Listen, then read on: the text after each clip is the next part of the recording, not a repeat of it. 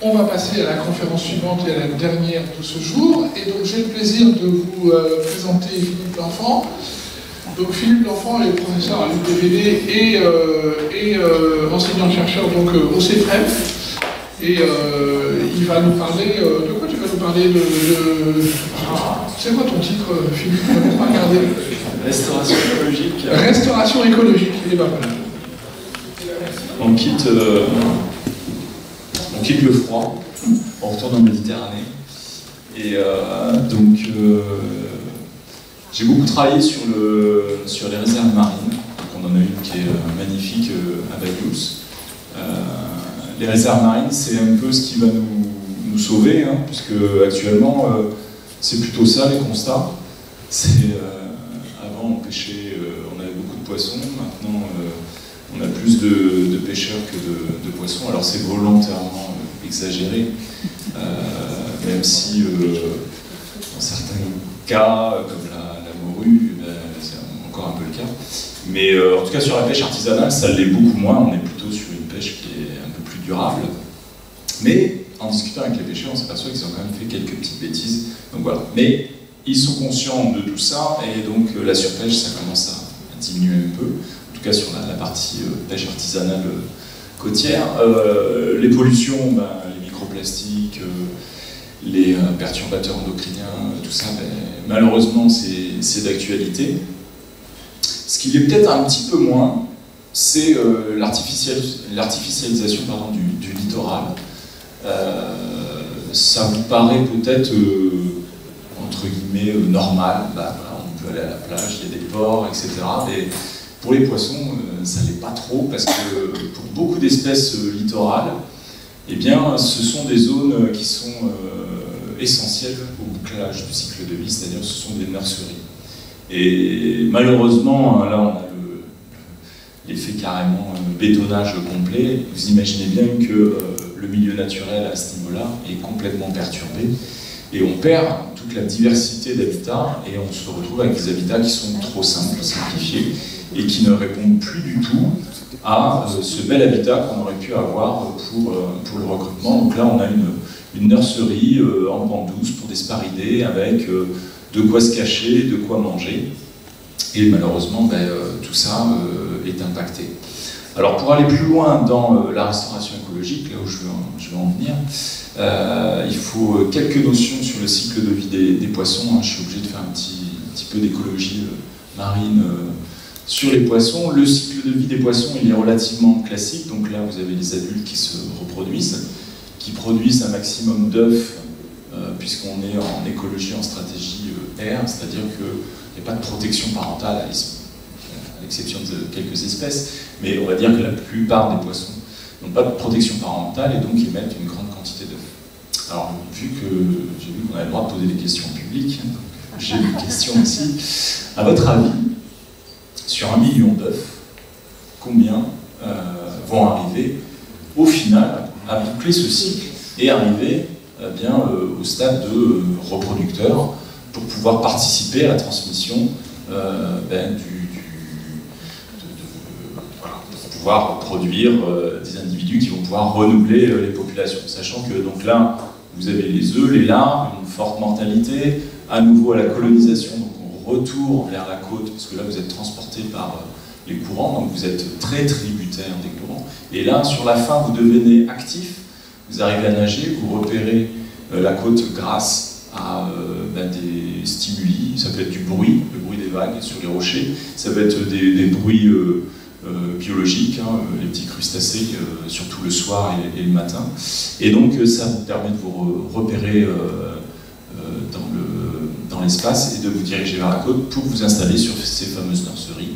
Et ensuite, une fois que vous êtes juvénile, vous intégrez les, les populations adultes, vous êtes en capacité de vous reproduire. Un million, combien il y en a à la fin? Je sais pas, 10%. C'est marqué? Non. Oui. 10%. J'aurais dû modifier mon schéma. 4%. Il n'y en a qu'un seul. Vous voyez, le, oui, le schéma est juste. Et bon, c'était pas voulu au début, hein. ça a été décidé comme ça par un artiste. Donc euh, effectivement, euh, c'est l'ordre de grandeur, donc ça a été vérifié en Australie, ça a été vérifié sur nos côtes, euh, sur pas mal d'espèces différentes, donc c'est ce qui semble être la norme pour boucler le cycle, mais c'est tout à fait normal, hein, parce que ce qui se passe dans cette phase-là, c'est ce qu'on appelle purger le fardeau génétique, c'est-à-dire qu'il y a beaucoup de malformations, et pendant cette période-là, eh ben, on, meurt parce qu'on ne va pas transmettre les bons gènes, et donc, en tout cas les, bons allèles, et donc on est éliminé du, on est éliminé du, cycle, et c'est la sélection naturelle. Donc voilà, donc si vous imaginez, sur un million, il y en a qu'un qui arrive au bout, si en plus vous détruisez les habitats ici, peu de chances que vous arriviez à boucler euh, le cycle. Donc c'est à partir de là qu'on s'est dit qu'il fallait euh, essayer de travailler un petit peu plus sur ces aspects-là de, restauration. Donc là, une autre vision, ah ben c'est là où j'ai mon million d'œufs j'avais oublié cette euh, diapositive, c'est une autre façon de voir le cycle de vie avec la reproduction en pleine mer, le retour, et là vous avez les chiffres en plus pour vous calculer jusque du fameux million. Vous avez un individu qui arrive apparaître. Et, donc à ce niveau-là, connaissant ce cycle de vie, on s'est dit qu'on allait pouvoir intervenir à différentes phases. Et donc la première phase sur laquelle on pourra intervenir, euh, c'est euh, la phase de fonctionnalité, euh, plus sur la reproduction et sur l'aspect refuge. Donc ça, ça va être plutôt la première partie que je vais exposer sur la partie récif artificiel. Et puis après, il y a un, aspect beaucoup plus innovant qui va être sur comment essayer de travailler sur l'aspect nursery. Donc ça, ça sera la, deuxième partie. Mais avant de vous parler de tout ça, il faut que je vous donne quand même une petite définition, deux petites définitions euh, la définition de la restauration écologique euh, au sens strict. Euh, donc la, la, restauration écologique considère l'écosystème dans son intégralité, doit réparer toutes les composantes du milieu, les fonctions écologiques et les services rendus. Donc je vois qu'il y en a qui hochent la tête, c'est quasi mission impossible. Donc en fait, quand je parle de restauration écologique, on est plutôt dans de la réhabilitation. C'est-à-dire que la réhabilitation va s'attaquer aux fonctions euh, c'est-à-dire qu'on va plutôt travailler sur la fonction nurserie, sur la fonction reproduction, parce que malheureusement, euh, c'est très difficile de revenir en arrière lorsque vous avez euh, détruit en partie un écosystème, en tout cas de retrouver les espèces et les, interactions qu'il y a entre espèces, c'est très difficile. Donc j'ai illustré ce propos avec ce petit schéma qu'on a produit avec un, collègue qui fait beaucoup de restauration écologique, surtout en terrestre, mais il m'a aidé un peu sur la partie marine. Donc ça, c'est euh, sur cet axe-là, l'axe désordonné. Ça peut être l'abondance, ça peut être euh, la richesse en espèces. C'est euh, voilà, des proxys de, du bon état écologique d'un système. Et vous avez des perturbations naturelles qui font que bah, ça monte, ça descend, c'est normal, vous avez de la variabilité. Et malheureusement, l'homme apparaît. Et quand l'homme apparaît, c'est un petit peu plus compliqué. Euh, parce que les perturbations anthropiques, des fois, sont plus violentes, plus rapides, et elles s'additionnent aux pressions euh, naturelles euh, jusqu'à arriver à un seuil qui est un seuil limite où, malheureusement, n'arrive plus à redémarrer. Et c'est là où la restauration écologique intervient, où l'homme intervient, c'est qu'il essaye de booster l'écosystème et essaye de repartir vers une vers une référence qui reste à définir. Alors, en tout cas, ce que les écologues savent, c'est qu'on ne pourra jamais revenir à l'état initial, ça c'est impossible. Donc ça, il faut vraiment l'accepter. Donc euh, dites-vous que quand on a vraiment perturbé les milieux, on n'arrivera jamais à revenir euh, à ce qu'il y avait avant. Donc ça, c'est quand même important, c'est une perte importante, d'où l'importance de non-dégradation. Euh, c'est bien d'avoir des réserves, mais c'est bien aussi de ne pas dégrader. Ça, c'est encore une, c'est une chose importante qui est difficile à, faire admettre. Lorsque vous voyez des, bateaux qui, qui, ancrent dans l'air des Posidonie, ça, ça c'est un problème qu'il faut résoudre maintenant. Et donc euh, la simple, ben, la solution la plus simple, c'est quoi? Des ancrages écologiques. Vous n'allez pas empêcher les bateaux de venir, mais vous pouvez créer des ancrages. Donc la non-dégradation, ça passe par une action humaine. Donc vous installez des, mouillages écologiques, tout à fait dans l'herbier, mais qui n'ont pas un effet dévastateur comme on a pu le, montrer euh, avec, euh, avec l'agence de l'eau. Euh, et donc tout ça, on en a discuté ben, hier avec l'agence de l'eau, et dans les, deux, dans les trois triptyques de, de l'agence de l'eau actuellement, c'est bien sûr éviter les pollutions, donc réduire les pollutions au maximum, mais ensuite c'est la non-dégradation. Donc ils vont aider à, ben, mettre en place tous ces systèmes, par exemple de, mouillage écologique. Et puis le troisième aspect, c'est la restauration. ils savent que les aires marines protégées fonctionnent bien. Ils vont aider sur les autres sites, puisqu'on peut pas mettre de, de réserve partout, aider à financer des projets de restauration. Donc ça y est, on attaque le cœur du sujet. Euh, première partie, donc c'est euh, les récifs artificiels. Alors historiquement, je ne sais pas si vous savez euh, quelle est la, la position de la France en termes de récifs artificiels. À votre avis, est-ce qu'on est bien placé? Est-ce que vous savez que, est-ce voilà, est-ce qu'il y a des récifs artificiels en France? Oui, mais alors on est les premiers en Méditerranée à avoir mis des récifs artificiels. 1968. Alors, à l'époque, c'était des carcasses de voitures. C'était à l'époque. Donc, on a le privilège d'avoir été les premiers, bon, peut-être pas être très exemplaires, mais on, voilà, on a été les, premiers à, essayer de développer ce genre de choses. Alors, bien sûr, euh, ça, ça date de 68 en Méditerranée. Euh, au Japon, ça date des années 50, euh, puisque eux, ils ont, ils ont vraiment un, une, relation avec la mer qui est très forte et le maximum de protéines vient, vient de la mer. Ils ont des côtes très, très accords, donc avec des, des tombements importants. Donc là, ils avaient une possibilité de développement de, récifs artificiels euh, importants. Et, euh, et, donc en France, eh bien, on a, euh, et surtout en Méditerranée, puisqu'en Atlantique c'est beaucoup plus récent, les outils récifs artificiels étaient principalement destinés à la pêche. Alors à votre avis, pourquoi on les a installés au début? Je fais abstraction de, du fameux récif des années 68, mais dans les années 70-80, euh, on a eu euh, un développement de, pas mal de récifs euh, sur toutes les côtes, ben, sur tout le long de la côte, avec un objectif prioritaire, en lien avec la pêche.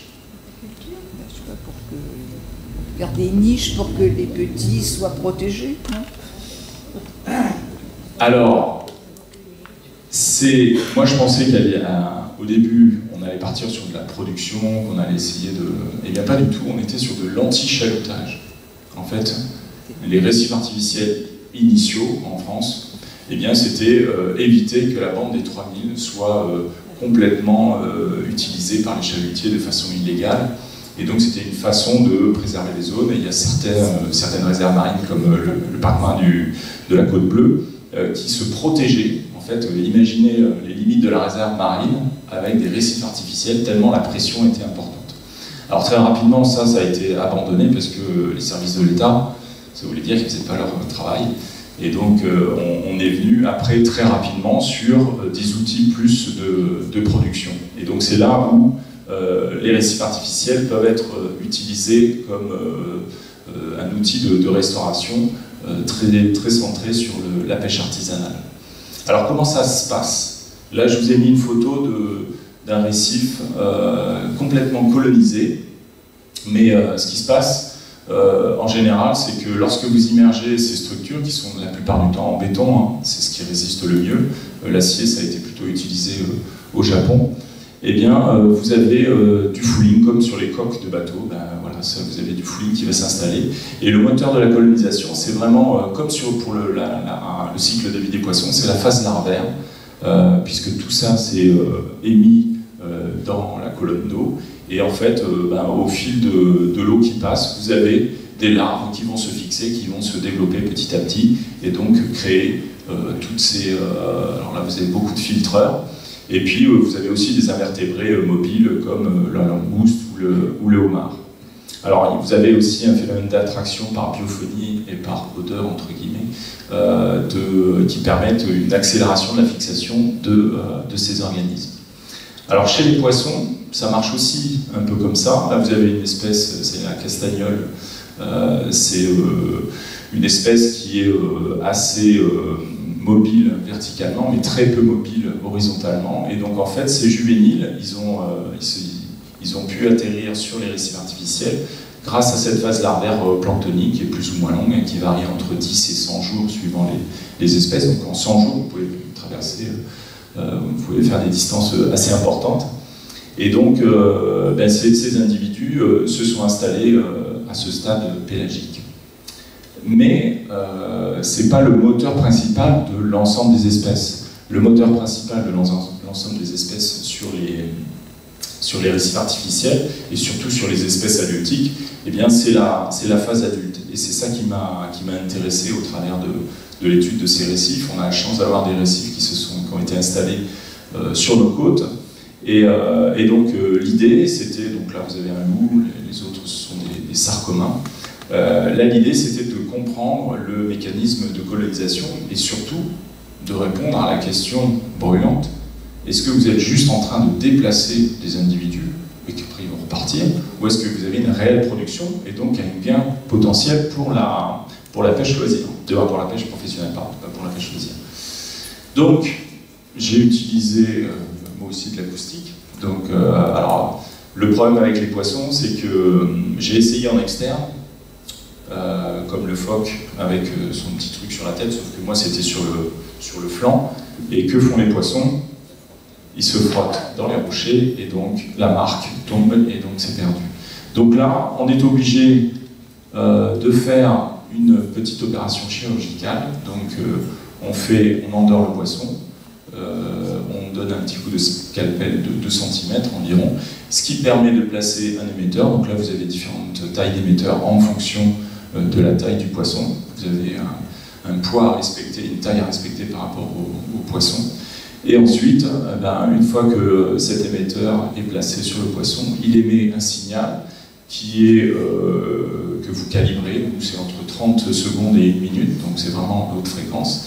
Et ce signal est récupéré soit par des balises fixes placées sur les récifs artificiels et sur les zones naturelles.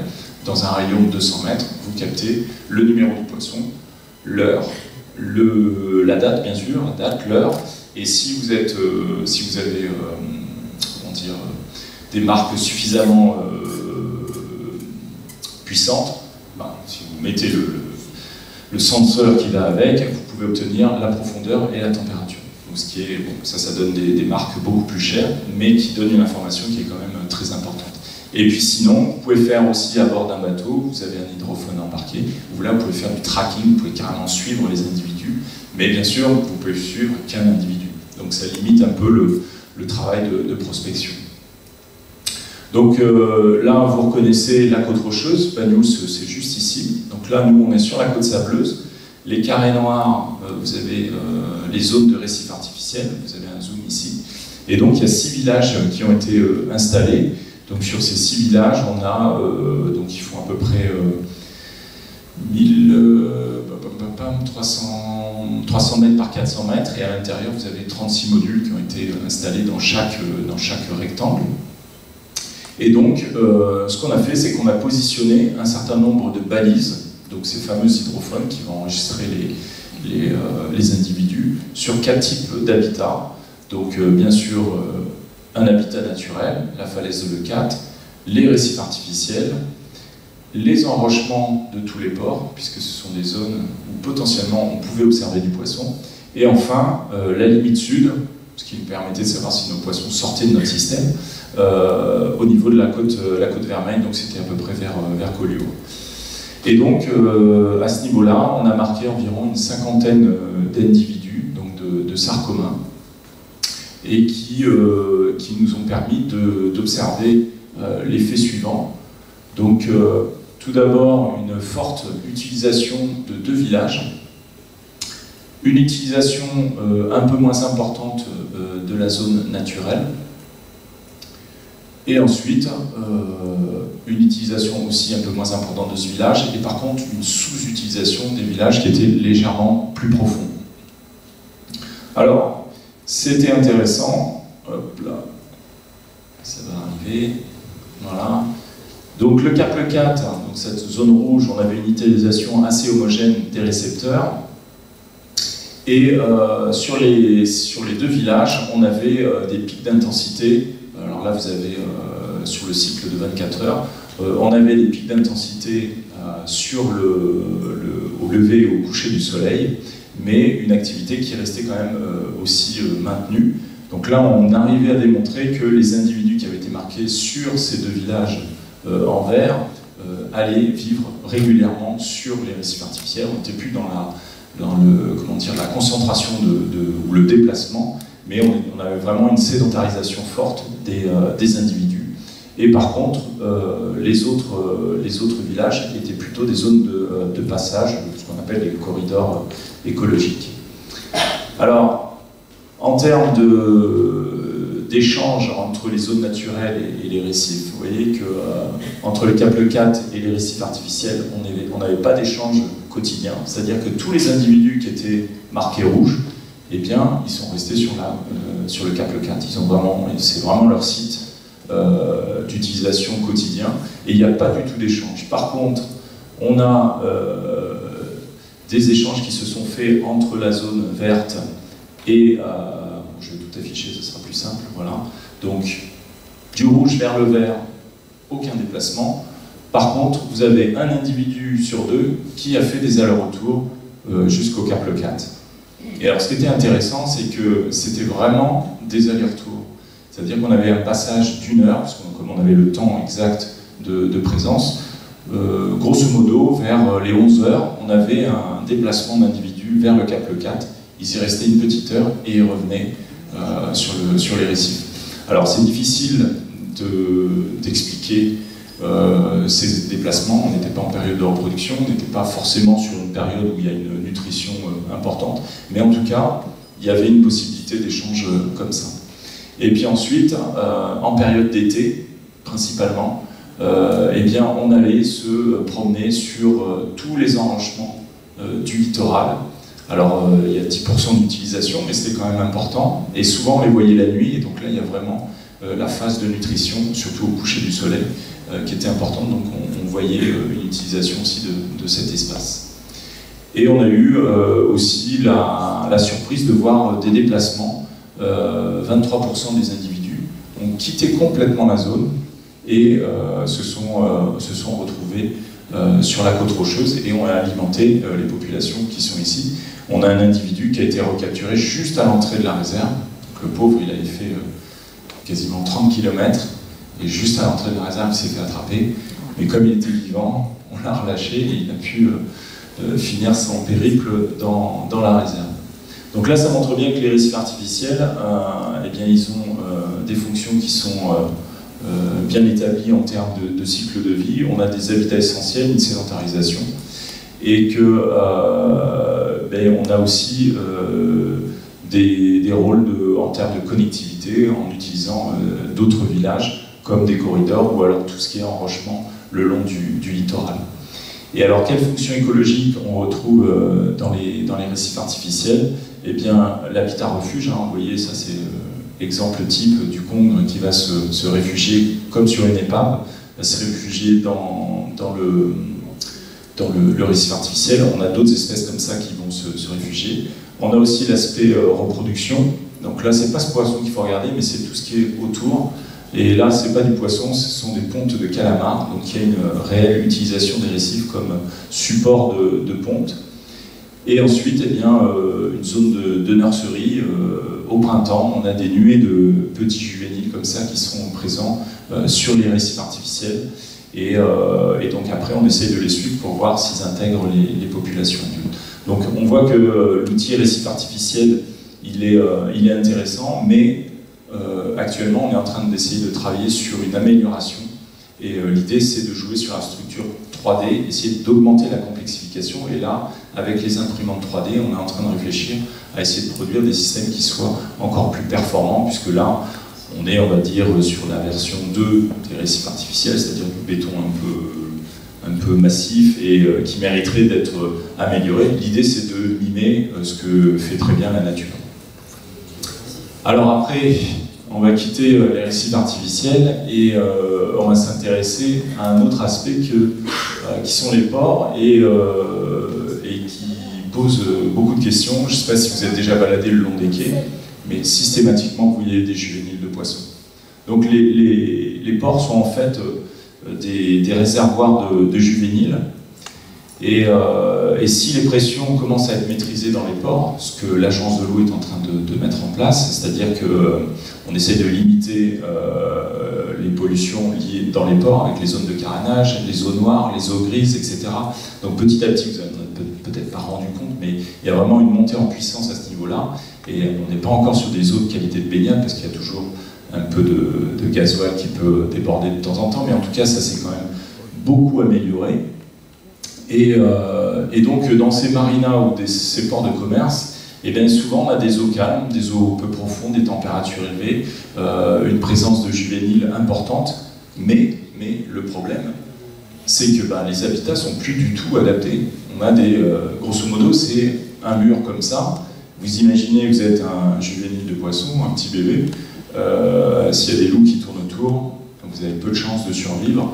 Et donc, ben, le gros souci de, ces zones, c'est que ben, elles sont peut-être devenues des pièges pour, euh, ces juvéniles. Et certainement qu'avant qu'il y ait ces ports, c'était certainement des zones vraiment naturelles, recherchées par ces juvéniles. Donc, voilà la situation. Si vous détruisez ces habitats-là, ben, vous avez peu de chances de boucler le site.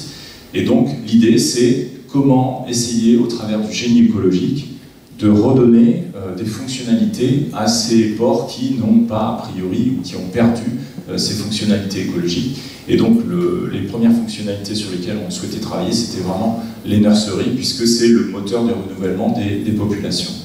Et donc, voilà ce qu'on euh, ce qu'on va essayer de faire, c'est ben, essayer de retrouver à la fois une abondance, des taux de survie, une croissance, et puis ensuite une migration, grâce à des habitats qui vont être pouvoir qui vont pouvoir être installés dans, les, dans ces ports.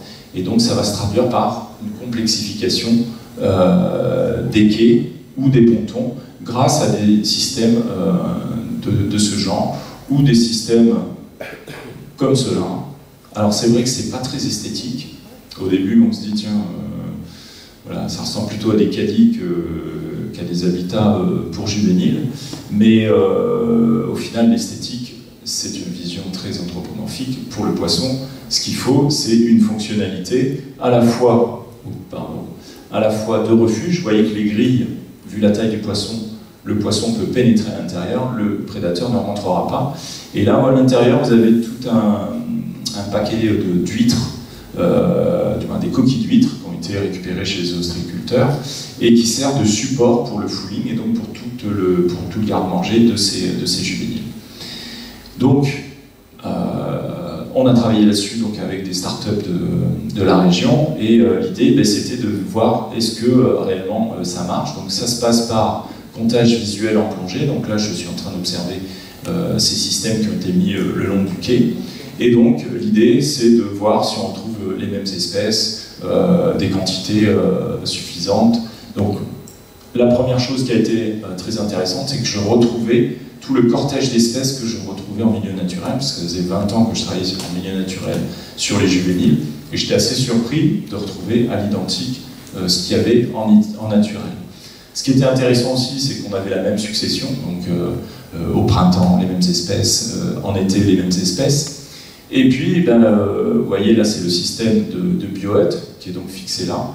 Et là, vous avez le quai et des rochers qui, sont, euh, qui étaient présents euh, dans le port. Et donc, on voit que significativement, on a un effet euh, de densité qui est plus important sur, sur ces systèmes. Et alors, cette, comment dire, cet effet significatif, c'est pas juste un effet concentrateur. On a en plus un maintien de, ce, de cet écart, c'est-à-dire qu'on a toujours au fur et à mesure du temps qui s'écoule, au fur et à mesure que les, individus vont grandir, eh euh, on a des taux de survie qui sont meilleurs sur ces systèmes et une abondance qui est bien sûr au final euh, plus importante. Et bien sûr, comme dans la nature, donc là c'est le port autonome de Marseille, hein, désolé, c'est pas, euh, sur, l'Occitanie, mais on s'aperçoit qu'il y a aussi de la variabilité entre les, sites dans les ports, un peu comme dans les milieux naturels. Il y a des milieux qui marchent plus ou moins bien, alors, euh, les explications, ça peut être euh, par rapport au positionnement, par rapport à l'entrée, puisque le, ce qu'il faut voir, hein, c'est que le flux de l'arbre, il va se faire par ces deux entrées, donc ça va rentrer d'un côté et de l'autre. Et donc euh, ben là, on est en train d'analyser encore ces données pour voir s'il n'y a pas d'autres explications pour expliquer ces, fortes variabilités, mais systématiquement, en tout cas dans ces deux cas-là, on a eu plus d'individus sur, sur ces systèmes.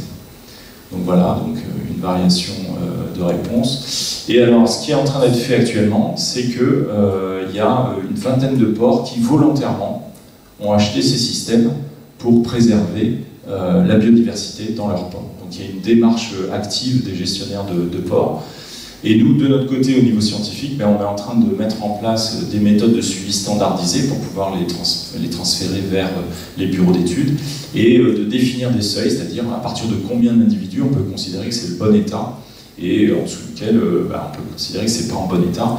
Euh, un exemple, 10 mérous à un endroit, ça c'est un seuil, si on arrive à l'atteindre, qui sera excellent. Et ben, voilà ce qui est intéressant, c'est que ça, c'est arrivé. On a eu des, juvéniles de Mérou, donc celui-là fait 4-5 euh, cm. Celui-là, euh, c'est le premier juvénile de Mérou que je voyais de ma vie, et il n'est pas très loin. Il n'était pas très loin, il était dans le port de Port-Vendre. Donc euh, pour la côte, c'est assez extraordinaire, puisque on a des populations de Mérou qui commencent à, augmenter tout doucement, mais jamais de juvéniles parce qu'on a des eaux qui sont assez froides et souvent il y a une mortalité due à la température qui est trop basse euh, l'hiver. Et là, ben, euh, il semblerait que euh, ces individus puissent s'installer dans ces systèmes. Et alors, en PACA, là, ça a marché quasiment dans tous les ports où il y avait des populations de mérous à proximité. Donc, ça, c'est vraiment l'emblème à la fois pour la réserve, mais aussi pour la restauration. c'est un emblème du fait que ça, peut bien fonctionner. Et alors, on a poussé la, démarche encore plus loin. On s'est dit, mais est-ce qu'on ne peut pas faire encore mieux? Parce que là, on essaye de protéger l'habitat, tout ça. Mais est-ce que quand les juvéniles ils reviennent euh, du large, et qui sont encore très très petits, moins de 10 mm, est-ce qu'on ne pourrait pas les attraper, les faire grossir, les protéger et les remettre dans le milieu parce que ben, voilà, des fois c'est un peu plus compliqué. Euh, on ne peut pas mettre des biotes euh, forcément partout, et puis on ne sait pas où tout le monde arrive. Et donc on a tenté ça dans le cadre d'un projet européen. Donc euh, on a utilisé des light traps, donc des pièges lumineux. Les larves arrivent là et elles voient ce, filet, elles le considèrent comme leur habitat, et donc elles descendent, et au fond il y a un collecteur, et donc ben, ça nous permet de récupérer les, poissons vivants. Ils sont ensuite grossis dans une ferme, et bien sûr, l'idée, c'est de pouvoir les relâcher ensuite euh, dans leur milieu naturel, là où ils auraient dû arriver, mais on les relâche à une taille où les prédateurs vont être beaucoup moins euh, euh, efficaces, puisque bah, mécaniquement, ça ne pourra pas rentrer dans leur bouche. Alors, l'intérêt, c'est aussi de travailler avec les pêcheurs professionnels. Là, on a des pêcheurs artisanaux qui peuvent aller en mer pêcher, donc c'est une autre activité, mais quelque part, c'est la gestion de leurs ressources, mais aussi avec des parcs marins pour euh, eh ben, essayer euh, d'avoir une, meilleure idée de la diversité des larves qui peuvent être sur, leur, euh, sur leur côte. Et donc là, je vous ai mis quelques exemples de poissons qu'on a pu capturer. et bien sûr qui, sont vivants et qui ont été relâchés ensuite. Et pour certains, au début, ben, c'est quasiment impossible d'identifier l'espèce. On est obligé d'attendre 2, 3, 4 jours que la pigmentation apparaisse et qu'on puisse définir enfin l'espèce. Et donc ça nous a permis, dans le cadre d'un projet européen, de produire euh, un atlas avec plus de 80 espèces euh, qu'on a pu euh, observer en Méditerranée. On pensait à peine dépasser les 40, on a doublé le, potentiel. Et donc, voilà, il, y a un, réel potentiel d'utilisation larves. Et ensuite, ben, voilà, la partie relâchée. mais comment les suivre pour être sûr qu'ils survivent? Donc là c'est la partie expérimentale, c'est pour valider la, méthode, eh bien on a fait des, injections d'élastomère au niveau de, la queue, ce qui nous permettait euh, de euh, les identifier dans le milieu euh, naturel et les distinguer des individus sauvages pour voir s'il ben, y avait vraiment une, survie qui était, qui était intéressante. Et donc au final, ben, ça c'est la, la, courbe de, de, diminution des effectifs, donc on peut dire courbe de mortalité. Pour faire simple, euh, au cours du temps, chez, euh, chez le sarcomin, donc ça c'est en milieu naturel, donc on atteint au bout de deux mois, on, passe de 250 individus à moins de 50, donc on est à peu près à 5 à 25% de, de, survie. Et, euh, eh bien dans notre cas, les individus, on les a capturés là, On a eu la chance, on n'a eu aucune mortalité pendant la phase de, grossissement. Et ensuite, ils ont été relâchés. Et en fait, euh, ben, au niveau du relâché, euh, dans, la dans, la revisualisation, on était entre 31 et 50 d'individus.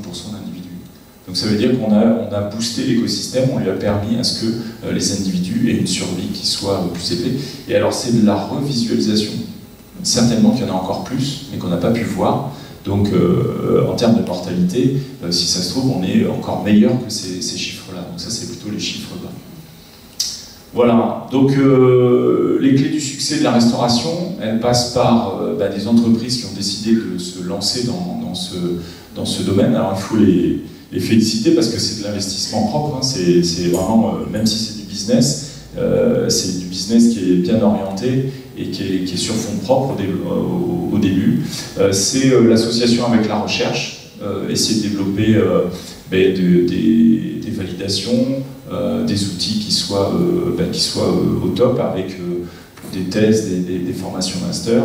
Et puis tout ça, c'est transféré au travers de réunions qui ont lieu tous les ans maintenant sur la restauration écologique, organisées par la, Direction interrégionale de la Méditerranée et l'Agence de l'eau. Euh, et, donc tout ça, ça permet euh, ben, d'imaginer des schémas. Donc euh, les futurs schémas, donc ça je vous fais juste une parenthèse, on a des obligations européennes. Ce genre d'outil peut permettre de répondre aux obligations européennes. Mais ce qui m'intéresse le plus, c'est voilà, c'est de maintenant l'agence de l'eau et la direction interrégionale de la Méditerranée et l'État a une vision territoriale de la restauration écologique. C'est que bah, ce qui est fait dans les ports, euh, peut être complété avec euh, les mouillages écologiques, avec les récifs artificiels, avec, euh, toutes sortes d'actions qui vont bénéficier à l'écosystème et permettre au, système de, repartir. Voilà, et j'arrêterai là pour laisser quand même des questions. Merci.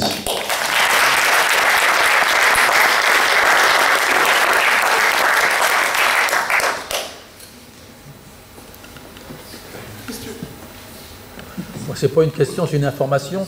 Je sais que le port de Bagnous, là, qui va être en réflexion à partir de l'automne, euh, pour, améliorer la protection, toutes les, nouvelles constructions de digues vont, avoir des habitats comme ça pour les juvéniles.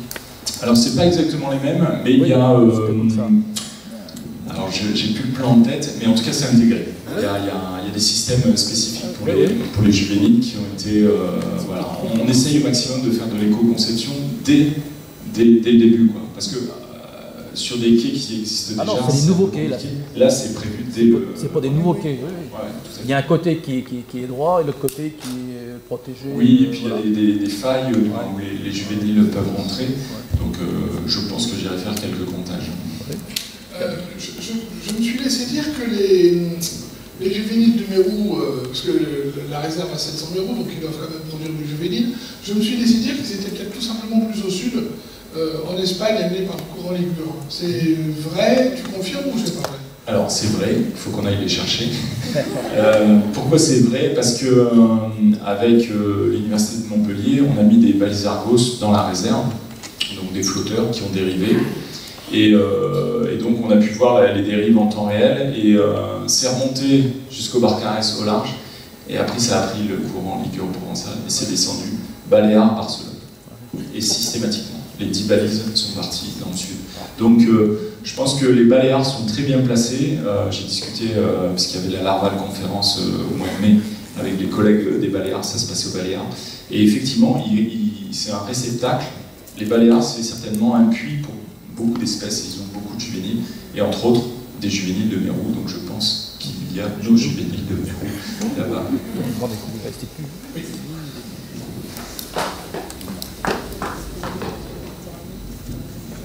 Merci pour votre présentation. Oui, je voulais vous dire, à Collioure, le chemin de Louis a été détruit. Vous connaissez? Je connais. Oui, et, et, le ciment et le béton a été jeté dans la mer, et cela a été critiqué. En fait, ce béton peut servir de support à, à ce genre d'habitacle. Alors ça, a été critiqué à quel niveau? C'est-à-dire que ça, ça, a été critiqué parce que le, le, ciment et le béton sont restés, ont ah. été jetés à la mer. Ben, jeté, ça a été détruit par les vagues et... Non, non, non, ça a été détruit parce que comme il y a eu beaucoup d'accidents. Ah oui, d'accord, c'était voilà, par rapport. donc ça a été détruit par décision de la mairie. D'accord. Et donc euh, tout est resté en mer? Oui, et mais là, là aussi il y a eu de la critique parce que c'est resté en mer. Ouais. Alors, quelle est la solution? Bah, là, euh, il aurait fallu réfléchir dès le début. Quand je parlais de non-dégradation, avant de faire la restauration, la restauration, ça coûte cher. Donc si on peut éviter de dégrader, euh, ça coûtera beaucoup moins cher. Euh, voilà. Donc là, ce qu'il aurait fallu, c'est que le béton, il soit pas, soit pas laissé sur place. Et puis, quand on fait du dragage de port, maintenant, on peut plus clapper en mer, on peut plus jeter en mer. Ça, ça part à l'extérieur. Donc ça aurait été intéressant que ce soit retiré. Mais ça, peut servir de, su- ça peut servir Oui. de support pour ce genre d'habitacle. Tout à fait, ça sert de surport, mais c'est. euh, comment dire euh, Il y a une loi qui, internationale qui interdit de jeter euh, des déchets ultimes en mer. On n'a pas le droit de- de- d'immerger euh, des, des bateaux ou des avions euh, parce que c'est un déchet ultime. Là, pour moi, c'est un déchet, ça, c'est pas une action volontaire, il y a pas un- on n'a pas cherché un effet euh, récif en mettant ce, ce béton. On peut se dire, pour se donner bonne conscience, qu'effectivement, ça va, ça va être colonisé, etc., etc. Mais ça aurait été quand même mieux qu'il soit évacué. Non, mais ils sont en train de l'évacuer. Alors, je, je me disais, Ah. peut-être qu'en fin de compte, ça serait peut-être mieux de l'évacuer. Non, je pense que c'est mieux quand même d'éviter de la non-dégradation. Oui, dans le même, euh, sur le même point, vous avez évoqué les impr- imprimantes 3D tout à l'heure. Il s'agissait de concevoir des récifs artificiels de forme adaptée. Et dans quel matériau du coup? Alors, euh, pour l'instant, il y a deux matériaux. C'est euh, soit en béton, donc euh, soit effectivement béton marin. Alors là, il y a deux, deux systèmes. Soit vous avez des bras type comment dire industrie automobile qui euh, vous permettent de, de dessiner le, le- le- le- le récif. Et en fait, c'est la succession des couches qui fait la, la troisième dimension. Et l'autre euh, utilisation, c'est euh, c'est donc des filaments. Donc là, on est plutôt sur, du, sur des bases plastiques, donc des imprimantes 3D plastiques. Mais bien sûr, voilà, je me doutais bien que euh, la, la contrainte qu'on a imposée à l'industriel, vous me trouvez autre chose que des plastiques. Et donc, ils ont trouvé de l'amidon de pommes de terre. Et donc là, on a créé trois, euh, modules en amidon de pommes de terre qui font à peu près un mètre cube, qui vont être immergés pour voir euh, l'évolution, la tenue euh, de, ces systèmes. Pour ensuite, peut-être après, passer à une phase un peu plus large. Mais pour l'instant, ce qui se fait de mieux en impression 3D, c'est du béton. Le souci, c'est qu'une fois que vous avez créé votre, votre système, qui est très joli, comment vous le déplacez? Et là, euh, là, il y a un projet au Cap d'Agde d'un récif euh, paysager pour plongeurs qui ferait euh, une sorte de cube de 20 mètres par 20 mètres par 20 mètres. Et là, au jour d'aujourd'hui, ils n'ont pas encore la grue adaptée pour le, transport. Il faudrait presque construire à quai et, pouvoir le, le déplacer. Donc là, c'est- on est dans des choses qui sont euh, réalisables rapidement, mais un peu complexes. Euh, Philippe, euh, dans les structures justement, euh, ça, Non. euh, Et ça, c'est du béton Non, ça, c'est- Alors non, ça c'est particulier, c'est euh, euh, c'est du métal et à l'intérieur il y a de la roche. Donc, euh, mais c'est- des vrais faux récifs artificiels. C'était nos premiers récifs pour euh, relâcher les juvéniles pour le repeuplement, pour pas qu'ils soient perdus euh, dans la nature comme ça. On leur avait proposé ça, puis en fait au final ils se débrouillent sans, donc on a abandonné ce genre de, de système. Dans les systèmes pensés comme le port de Bagnos ou, autres qui se veulent permanents, comment ils évitent qu'au bout de 5 ans, le fooling ait rempli tous les interstices et puis, euh, et puis du coup, on se retrouve avec quelque chose qui est, qui est de fait, enfin, comme si c'était lisse Alors, comme je ne suis pas dans le projet, donc euh, je ne sais pas ce qu'ils ont, ce ont prévu, mais euh, dans ce qui est installé sur, sur les quais avec les, les ce qui est, ce qui est comment dire, vendu, c'est le système et la prestation d'entretien. Parce qu'effectivement, euh, suivant les endroits, vous allez avoir euh, bah, du concrétionnement, du fouling. Et, euh, et le problème, c'est que trop de fouling, effectivement, va commencer à obturer les, systèmes, et donc on va perdre la, fonctionnalité d'habitat. Mais tout ça, c'est en train d'être... Il y a de la R&D constamment là-dessus, et tout projet, tout nouveau projet aide à améliorer bah, les autres projets en, essayant de trouver des solutions alternatives.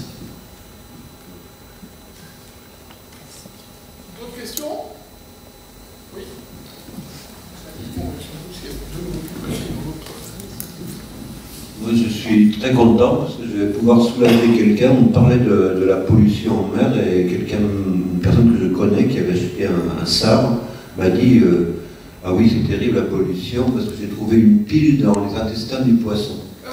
Donc on va pouvoir vous ramener la pile et euh, sans doute, enfin, après euh, ce que vous avez raconté sur les sabres, ça venait, c'était un poisson de la pêche locale, hein, donc Peut-être que c'était un poisson comme ça et la personne a pensé que c'était donc un poisson qui avait, été, qui avait avalé une pile.